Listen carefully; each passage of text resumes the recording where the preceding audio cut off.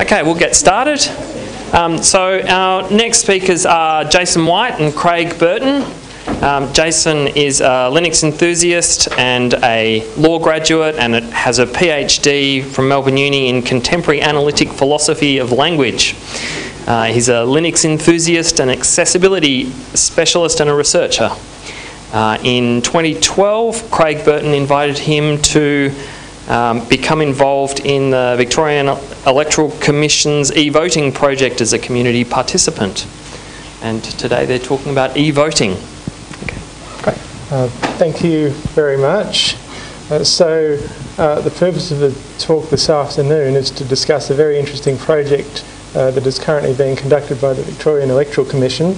I'll introduce Craig formally in a moment, uh, but I'd first like to set out the motivations uh, for this project.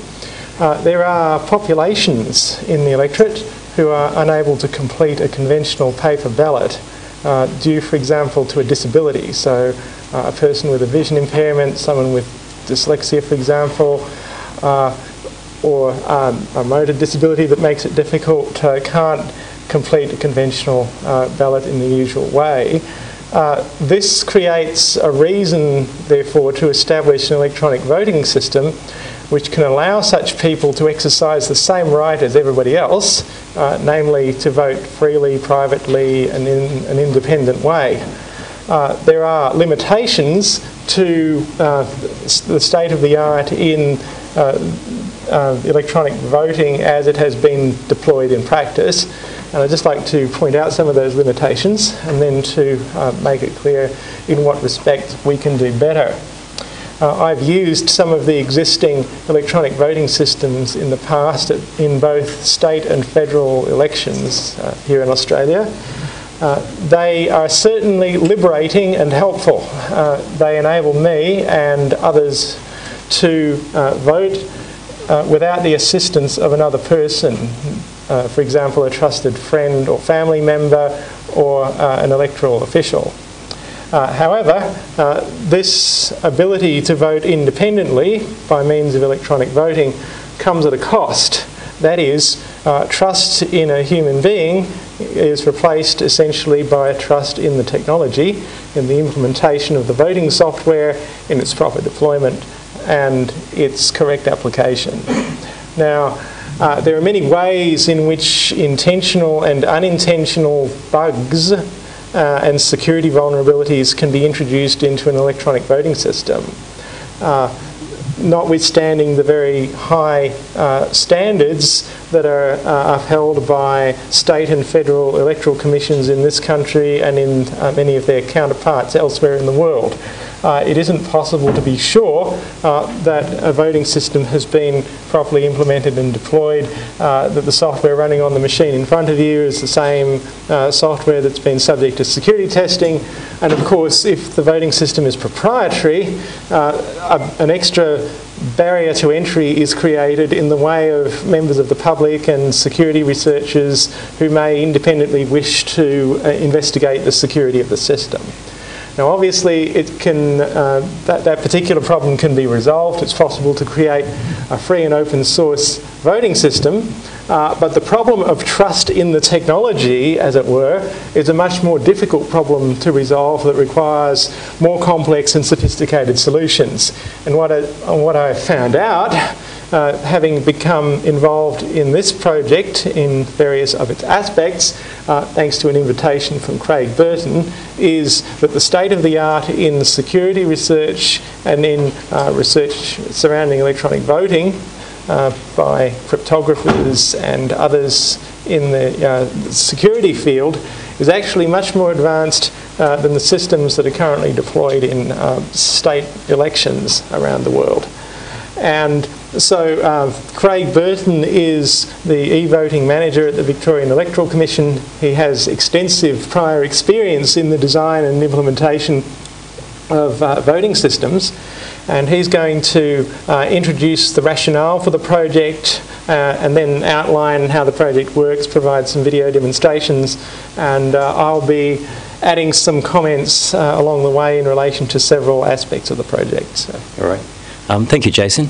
Um, I was introduced, introduced to Jason by no less than Donna Benjamin, who's the winner of your Golden Pliers Award. So, right, yeah. Maybe they were um, golden once. Um, I, I called the talk e-voting you can taste. Of course, I'm, I mean to say, can we provide e-voting that's kind of tangible and convincing, something that actually provides really meaningful proof that it's got your vote um, as you intended it to be cast. Um, I didn't mean e-voting you can taste as a new kind of voting system that you operate with your mouth. That's not meant. Um, the talk I'm going to basically open by stating what I see to be security problems that are intractable in e-voting. Um, then I'll say, although it seems to be insecure, it can't be secured, why would we want it anyway? And there are some good reasons why we want e-voting, and um, um, Jason has alluded to them. Um, I'll then introduce concepts of um, verifiable voting. Perhaps some of you in the audience know about this through the literature, um, but for those who don't, I'll explain it. Um, verifiable voting impacts on the voter experience. So it's a changed voting ceremony somewhat. Um, and I'll show you some examples of the voting ceremony in this, in this environment. I'll say a few words about remote voting, by which I mean unsupervised internet voting, because that has come up um, in our project. We're not uh, legislated to do it in Victoria, but also I'm going to describe it as, as being uh, really too risky. And I'll kind of end with the beginning, which is the, what we call the VVote project, Verifiable Voting Project in Victoria, um, and talk about what we're aiming to achieve when, uh, for what, and for whom. Okay, so basically, um, I want to start by saying, obviously, that um, if e-votes are electrons, this breaks just about every um, stable and established method of scrutinising elections. Um, if elections are run on paper, um, mutually distrusting people who have no technical skills can stand and look at the election and look at each other and be confident um, that votes are moving around the right way and that voters' votes are being captured. The voter themselves gets to see the marks that they made. I'll talk at least in the realm of people who are able to use paper voting initially. Okay. Um, in, in paper voting, if I want to um, pinch a bag of votes and somehow take them out of the election and change them, I need to do that on a vote by vote basis. And if I want to change more of them, I need to involve more people. Um, we call that a retail attack on an election. It's retail in the sense that the more damage I want to do, the more people and the more systems I have to involve and doesn't scale very well. Um, in contrast to that, um, in, in electronic voting, there are many opportunities for basically one monkey to stop the show. And we call that a wholesale vulnerability. So a wholesale vulnerability is where, um, let's say you vote for Jill, um, you choose Jill on the system, Jill ends up in a row in a database. This is the simplest e-voting system I can think of. Um, therefore, anyone who can access the central tabulator has the ability to flip Jill votes to Jack votes. Okay, so that's what we call a wholesale um, vulnerability. It turns out that um, just about all the risks in paper voting are retail risks. It's a 150 year old system, it's had 150 years of debugging. It's fantastic. And most of the risks are very well known, and generally speaking, it takes a lot of effort to cause a large effect, and with a large uh, probability of being detected. Uh, unfortunately, in e-voting, just about all the risks are wholesale. So when I'm explaining this to my commissioner, they're saying, well, if a, if a, bag of votes goes missing, isn't that like someone entering the system and changing a few votes in the database? And unfortunately, you just can't compare the risks uh, in e-voting to the risks in paper voting. So this project um, seeks basically to take a step back and look at the qualities of the paper system and try and bring them back to e-voting. All right? Okay. And I'll say for a minute there, you know, does the Russian mafia want to um, hack into the result for, um, you know, the Belconnen uh, district election? Do you think so? Probably not, right? Um, but it turns out that in Victoria, um, the first prize for winning the Victorian state election is $40 billion, okay, because that's the state budget. Now, of course, it's not completely true because then you have to become the government. but it's the kind of prize that has a certain amount of street cred attached to it. And I think it would be irresponsible to assume that elections and e-voting are always going to be too boring and not interesting enough for uh, troublemakers and for um, political and monetary gain. So I feel that it's certainly a, uh, it's a target worth protecting and a substantial prize, at least in the minds of people who want to cause trouble.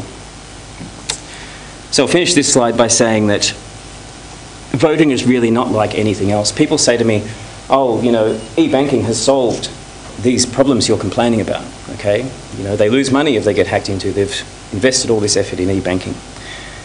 And there really are, there really, there really are, there's nothing to compare between e-banking and e-voting because I would say that um, IT security as such is broken by voting. In e-banking, if you put 100 bucks in your account, the bank knows you've got 100 bucks, you know you've got 100 bucks. If it disappears and goes to Nigeria, you'll know, and the bank can insure itself against that kind of thing. Um, the Electoral Commission isn't actually even allowed to know what your vote is on a person-to-person basis. We can't even know what it is, um, let alone tell you what it was. Um, we have to treat your votes collectively. And so all these good inventions in in e-banking and in other sectors, um, ordered transactions in databases, write once media, all these things work against us. Um, and I think that makes, that makes voting completely unique and very, very difficult. All right. Okay. So, it sounds too hard, but is it? Um, this is our shopping list of things that um, we would like to provide. In fact, the Geneva Convention obliges us to provide equal, fair, open, safe um, elections. And it turns out that there are a large group of people um, whose needs are not met by paper voting. Up to 400,000 people in Victoria, for example, um, don't have functional English that's good enough to read a paper ballot because it's only in English. They may have attentional disorders, they may have um, disorders to do with shaking and such that they can't mark a paper ballot. And so it ends up being quite a large group. There's also the kind of the promise of an e-voting system where you might be able to drop in as a voter and see or hear a candidate speaking. So it, it sort of suggests eventually one day a kind of a rich voting experience, a, a deliberative voting experience. So it's a very attractive idea. Um, and then of course, if it's a networked application, it'll have great reach um, if it's automatically counted, it has great accuracy. And of course, it's modern. But I just want to stop here and say it, there are some things that do not automate well. And although it is very attractive to be modern, and there's this pressure on government departments to be modern, um, voting is so different and so special that um, when someone says to you, oh, I waited in line to vote, and I got out my I got out my iPhone and I did some trades and I emailed somebody and I got a few texts and I updated my Facebook page. And then I stood in front of a cardboard booth and I took a pencil and I wrote sequential integers on a piece of paper. Um, it sounds utterly absurd, but elections are that special. And what they do and what they elect and what, what gears they turn are so special and so important. Um, I think that this is something that should not be automated so much so quickly. I think that um, I should say something about internet voting. And it's no small irony that um, there's the Oscar elections running at the moment for the Academy Awards. Right, I wrote that software. That's what I did. So, uh, and but now I feel that that is that is too risky that approach for public elections. Okay, in the mid 2000s, it felt like it might have been possible, but um, I now think differently because I work for a commission and I see how they manage their risks and I see the military way that they organise themselves. And um, I think it's too risky. And when I say that, there are wholesale risks in internet voting that can't even be measured.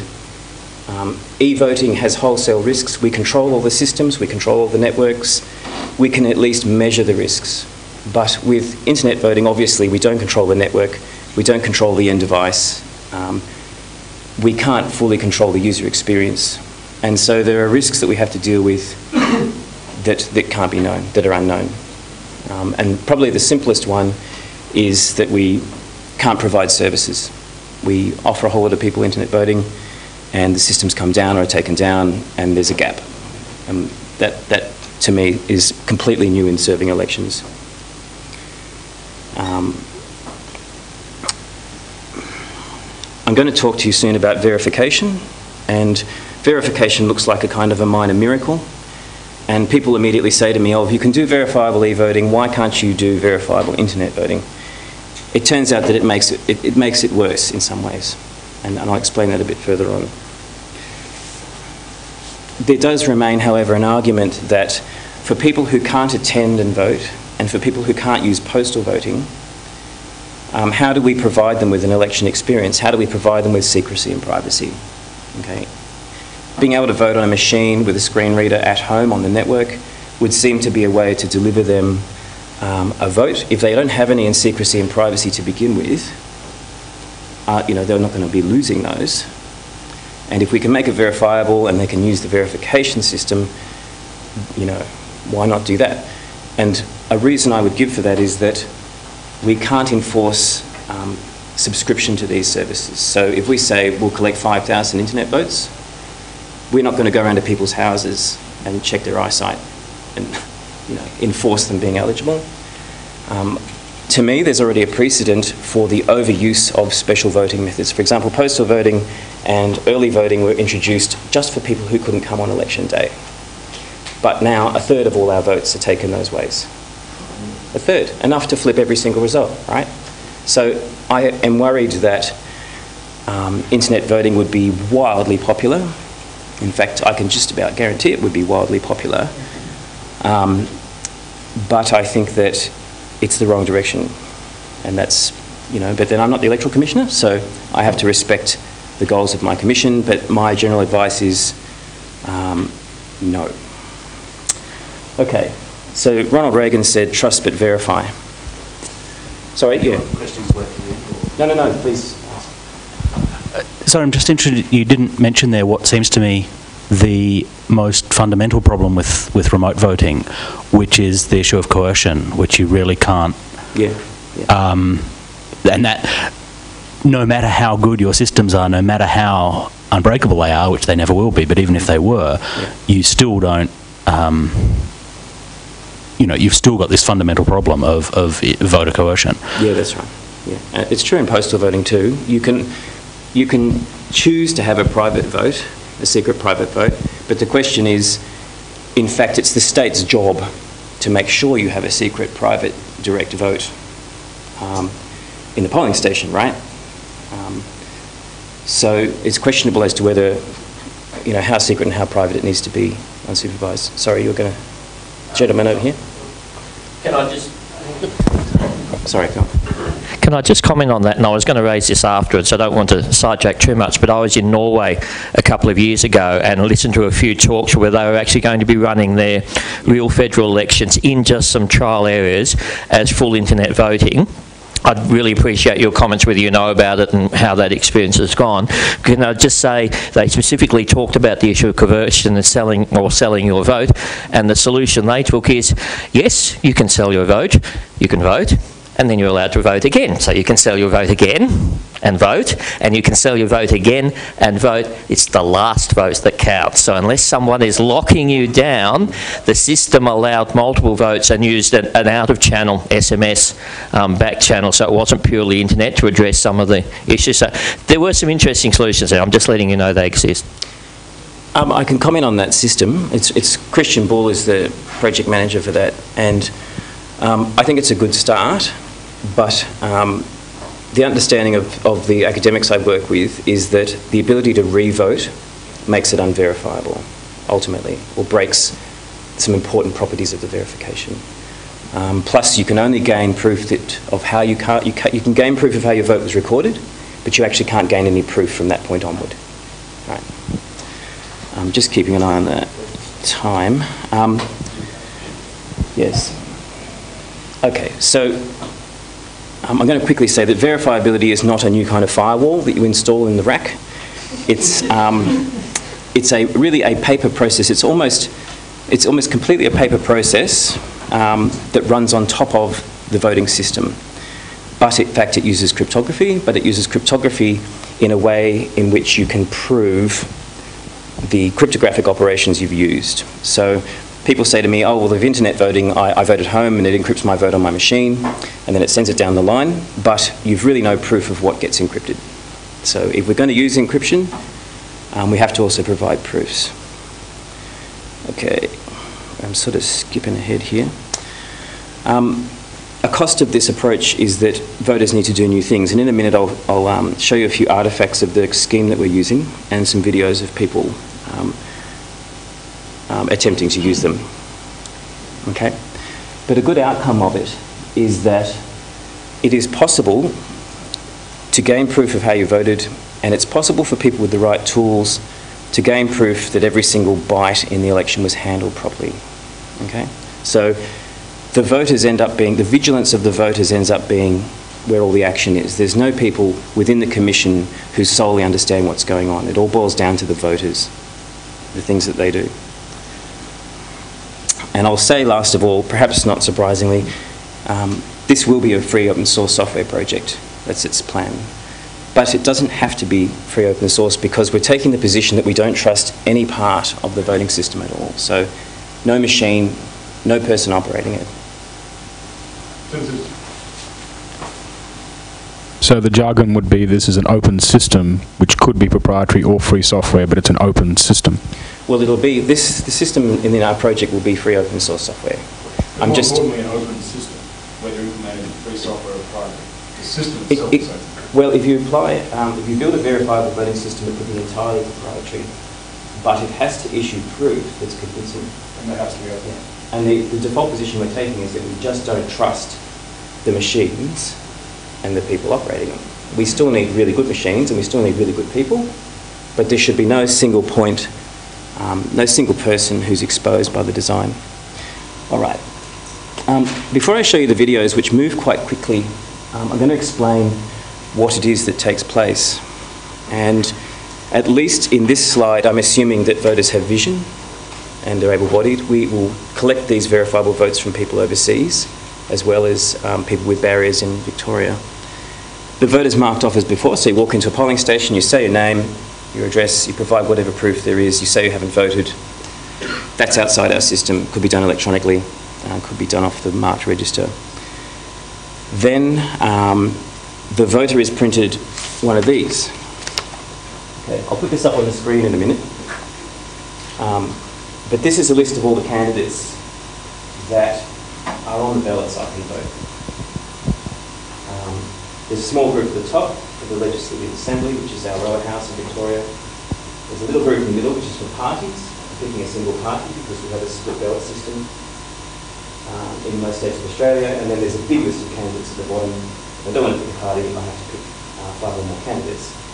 Um, people in here wondering about how we're going to do this in the federal election, um, or in fact in New South Wales. In the federal election, there could be 100 names here, and in New South Wales, there's 330 names. Um, you can rank them from 1 to 330. But most people don't. so I don't, I don't have a smart answer for how long this piece of paper should get, what the font should be, um, how small the lettering could be, or if it could be done in another way. Um, but for now, I'm aiming on making it work in Victoria. So I printed one of these. It has two QR codes. They're both the same because they'll be presented to a machine. I might have it run the wrong way. I need the machine to read the QR code to know that it's these candidates. Okay, so this is called a candidate list. It has one thing that's visible to voters that's unusual about it. This ordering of candidates here is not the legal order. Okay, so Frank Dean is the first person on here. It's very likely that Frank Dean isn't the, is not first in the legal order. And if I vote on screen, uh, 1 to 10, so if I donkey vote, 1, 2, 3, 6, 10, um, a printed representation of my preferences that comes out will be in a different order to this, so I'll explain that in a second. All right. Okay, so after I finish voting, the voting machine spits out its own list, and these are the preferences that I've created, or the voting preferences, and I line them up. with the candidate names. Um, when I show this on screen, it'll be clearer, but the numbers are not 1 to 10 starting at the top. They're 5, 4, 9, 8, 2, 6. I can leave the voting station with this because it doesn't have the candidate names on it and the preference order is shuffled. Okay? And to cut a short story, cut it down to a short story, VEC has the ability to restore the order of this receipt and count it as a vote okay, via cryptographic stuff in the QR code. So, that's a very, very brief summary. Sorry, after you. Uh, why do we have to have? s- Why do we have to have uh, two separate pieces of paper? Why couldn't you just have one? Because at the moment, what you basically mark has the candidate name on it anyway. Why, why split them? Create more complexity and create doubt in the mind of the voter. The reason for that, the reason for that is that this can't leave the voting station. Okay, so this list, which is the candidate list shuffled for you, is destroyed. Okay, and the receipt you take home, Again, why, why would you need to do that? Why wouldn't you leave an audit trail yep, with no, the great, actual? it's a great question. It's, it's fundamental to the protocol actually. It's, it's the protocol is called Prêt à Voter, and um, separating out the preferences to take home as the receipt is the key to retaining some proof of how you voted, but which cannot be used to prove how you voted to anyone else. Okay? And if you turn it sideways, it could just be treated as a number, a receipt number, but it has the beautiful quality that it's your preferences. Okay, but I'll get back to it. Just let me get through this. Okay, so what I've got up here is a video. Um, let's fire it up. Okay, so what I have here is a video of the first prototype of the system. Um, it shows these two lists initially joined and then the voter rips them in half, but it's basically the same. And then I'll show you the incarnation of the later version of the system. All right. Okay, so the voter's been marked off and now they're walking over to us, to our system. This is a demonstration of VVote running a polling station. After being marked off, I walk over to a print station where a VEX staff member looks up my district on the print station software and makes a request for a voting slip to be printed for me. This is the candidate list. Because every voting slip is different or the district may be different, these slips are printed on demand. I take my printed slip over to the privacy booth. In the booth, there is a voting tablet and a ballot marker set up for me. I insert the slip into the ballot marker at the right, It's and it's quickly scanned. This reveals that I have a vote for Northcote, and the tablet is told to provide me for ballot, with ballot paper Northcote. I click to start voting. I'm given two ballots, the district ballot or legislative assembly. On the screen, it looks very similar to the paper ballot. I scroll with one finger, and I can place my preferences in my order of preference next to the candidate names by touching the boxes. So, If I want information, I touch on the candidate's name. so I'm just going to number it 1 to 6, right? This also gives me access to that candidate's how to vote card if they have one. If I see the how to vote card on the screen, I can actually touch to have that how to vote card be my Legislative Assembly vote. Instead, I return to the ballot and I number it by hand. If I go out without touching all the boxes, it warns me I only chose three candidates of six. I can then go back in and provide the remaining preferences to make my vote count. All right. I can now visit the upper house or legislative council ballot. I have two choices. I can vote above the line for a party or group, or I can number five or more candidates below the line. I choose to vote above the line. First, I read some instructions. One to confirm my vote. And here I'm shown uh, the list of candidates in the Legislative Assembly in the order that I numbered them. On to the, to the scan station, So, shown here is the same alignment that I produced on these two slips. Um, created differently, created with overprinting, but again, um, I voted 1 to 6, but I end up with 2, 3, 6, 4, 5, 1. Um, and then I can, um, in, this, in this incarnation, separate the slips and leave. Okay, so we've come a bit further than that. and let me let me show you the playlist. Are we going for time? Okay. Right. Right. Sorry about this, folks.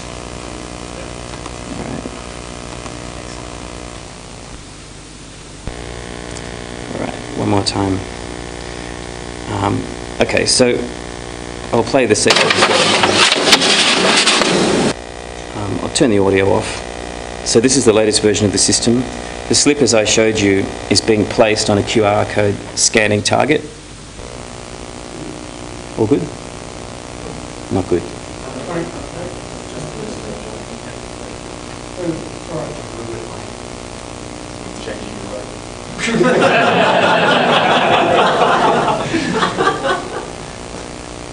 All right, so similar to the previous um, incarnation, except that um, it's been marked up to use gestures, um, different device, um, but the same process is there, except this time the voting machine has its own printer. So instead of marking the ballot, um, the voting machine prints.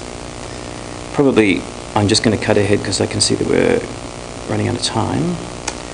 Um, I'm going to play you the audio version of the system. So there is, um, in anticipation of blind voters, a um, completely dark version of the tablet application.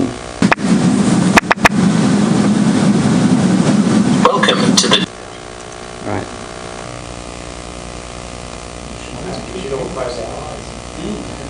Yeah, you could. But I'll, because it's on the video. Okay. I wonder why it does this. Okay. 2014 Victorian state election. This is a gesture-based system. You will be guided through the voting process by making selections on the screen using your fingers. You will first practice all the gestures now to learn them and hear what they do. When you are finished, press and hold four fingers on the Okay, so the idea is to use the same tablet, the same device that's used for visual voting, to also provide gesture-based voting. And those two buttons you can see on the screen there, you probably can't read them, allow someone uh, who works in a voting station to flip the view of the tablet from a completely audio representation of the ballot to the marked ballot in its visual view. So if a, if a voter's, an unsighted voter is having trouble, there's a means by which a fairly unskilled ballot, uh, unskilled um, voting centre worker can come and assist them. Screen for two to three seconds to move to the first stage of voting, the Legislative Assembly ballot. The swipe down gesture will help you move in a downward direction through a list. Place a finger on the screen and swipe it from top to bottom for about 3 to 4 centimetres. Swiping up allows you to move up a list of items. So they end up with the same lists as the um, sighted voter has, um, but they drive the entire voting experience by just swiping the screen and touching the screen. There's about five gestures in total that they have to learn. Um, if they struggle with that or they have um, motor problems or fine motor control problems or they're shaking, there's another interface again which is 12 telephone buttons and they sit on top of the screen. Uh, it's a special kind of electroconductive silicon and they activate touch areas on the screen. So there's an Australian standard called the Telephone Voting Standard which defines what you should do. Okay. Is there any reason you can go straight to that? Or is it just slower? What do you mean? Straight to the phone thing? Um, we will offer both. Um, the phone, the phone thing is slower and harder. Um, it is. It doesn't have. Um, well, there's a lot more keys, and not many people are familiar with the standard yet. Um, so we're hoping that the vast majority of voters will use the swiping system. Um, so for those of you before who couldn't see it, these are the two slips, and sideways you can see that that list of integers there could be a receipt number. Okay, so it serves both purposes. Um, if you have no sight, uh, it would be rather difficult to see these lists, and so the any voting device in an early voting centre will be able to rescan both of these and read back the vote to the voter while they're still in the voting centre. Once they leave the voting centre, this has to be destroyed. Any person can read this back to them without knowing what their vote was. Um, probably the hardest thing that a blind voter must do in this verification system is remember that um, they would need to remember the position of, of some of their most highest number, lowest numbered preferences because um, they can remember that they voted one for the Greens. Um, they can remember that the Greens were perhaps third down in the list of the official ballot, but here my one for the Greens is in the top position. So I have to actually remember that. Or I ask um, someone who has sight to help me, but the idea is I need to be able to get through this um, entirely with the machine, entirely with machines, um, or without help from another person. But I do, I do need to remember where those preferences are. Okay. So I'm going to talk now about the public information that's available from this system and the audits that a voter can do. So the preferences list being shuffled, it's possible you might say to me um, when you arrive at the voting station, you might say, oh, okay, so this, is, this isn't the actual legal order, and then later on you're going to reverse my preferences back into the right order. How do I know my one for the Greens isn't going to end up being a one for the some other party? You know, prove it. What's in that QR code? Is my name in that QR code, for example? Um, and there's a challenge that you can that the staff will be trained to serve, wherein the um, encrypted order that travels with your preferences um, is broken, and a report is issued along with a proof of the encryption that shows that in fact this is the shuffle order that was captured in that QR code. Um, and any phone can read the QR code to see what the rest of the garble in there is, and that will be printed out as well. Um, the idea being that um, you would then need to get another one of these to vote. You can't audit one of these and discover the encryption, uh, encrypted shuffle order and then vote it because then you would be able to prove how you voted to somebody. But you can then request another one of these and then you could then audit that if you thought that the system might be waiting for people to get the second one and use it and so on until you're satisfied that these shuffles are correct. Okay, so that's the first kind of audit. You check your printed list as I've explained.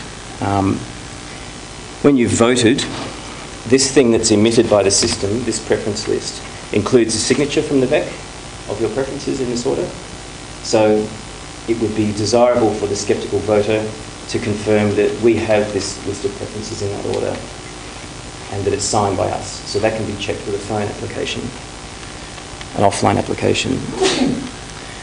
Once you go home, you can take this home, you can log into the, our website and see the same, pretty much the same stuff online, um, along with a commitment from our system that this and all the other receipts obtained in one day's collection are all there unchanged.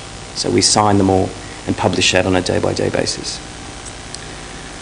Um, finally, and I'll actually even I'll defer to um, Jason here.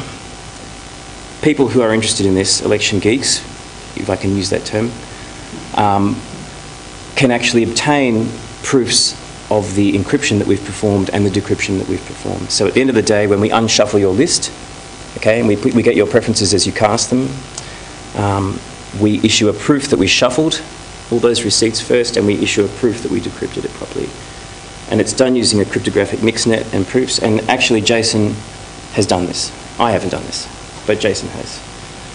Yeah, there, there is publicly available uh, software which implements this, uh, not on a real election, of course, but on a, uh, some sample data. And uh, it's possible to compile it, run it under Linux. It will generate the keys.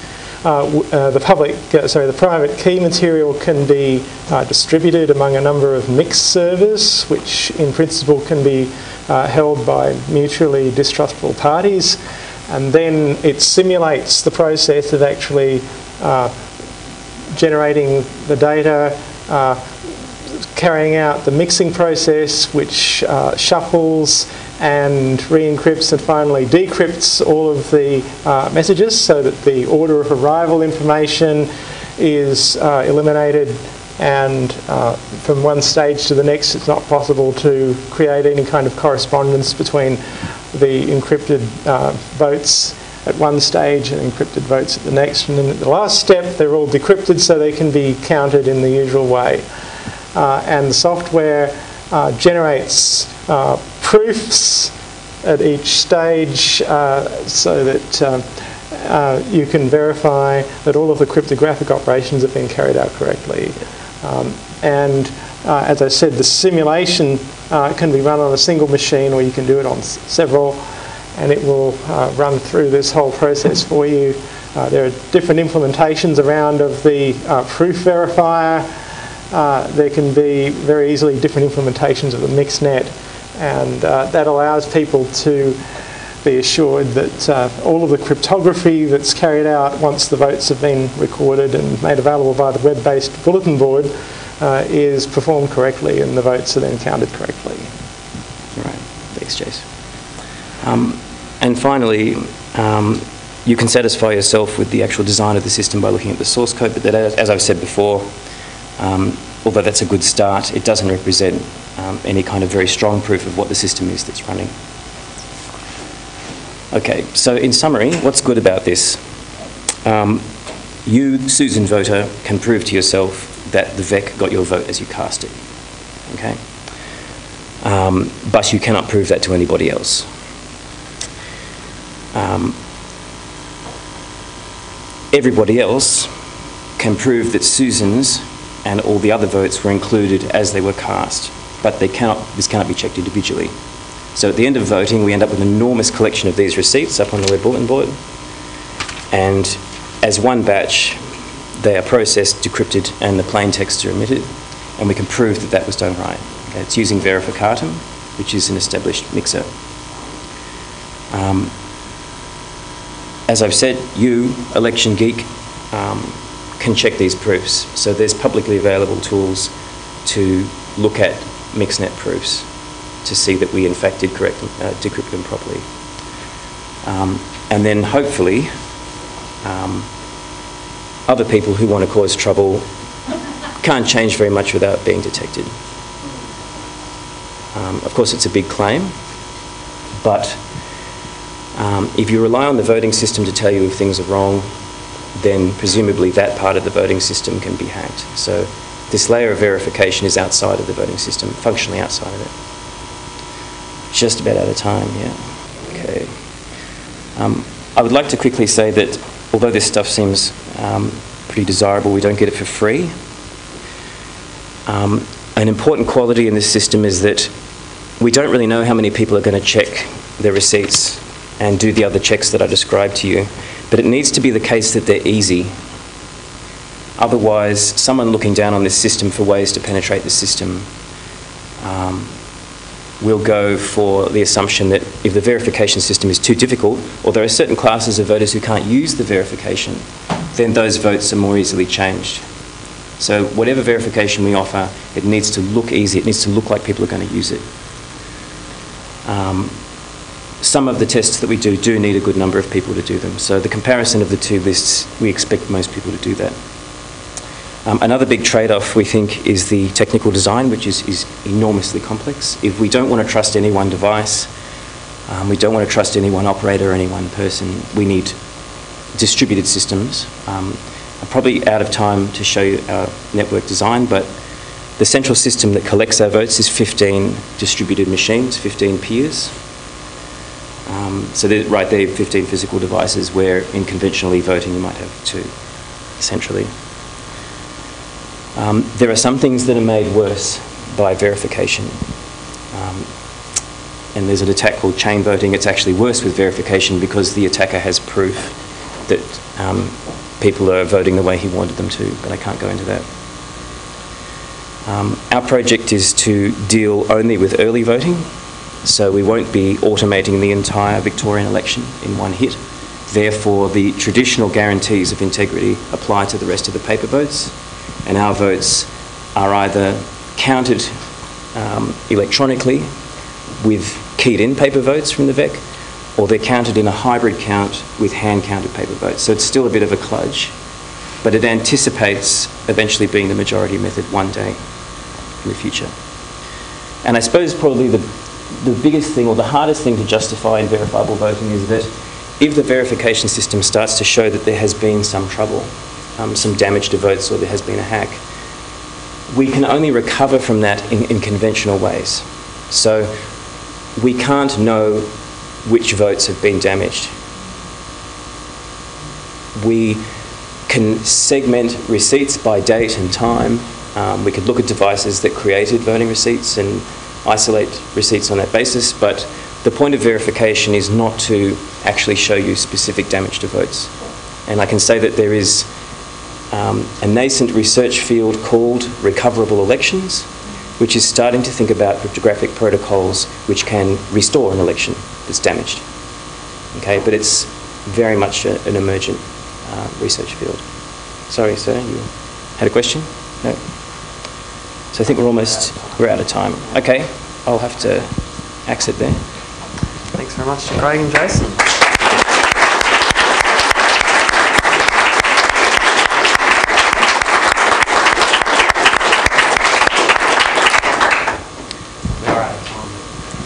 I'll just put, I'll put one plug in. Um, there's five universities involved in this project.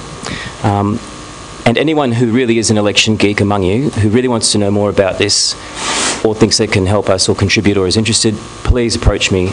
Um, we, we're asking anyone who's interested to take part in this. Thank you. On behalf of uh, Australia